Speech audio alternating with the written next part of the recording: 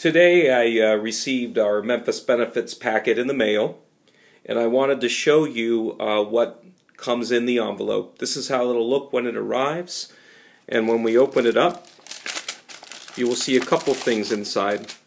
One is you will be receiving your Memphis Benefit cards and uh, you can pop them out and on the back is a list of all the services that you can call so that'll be handy to keep in your wallet.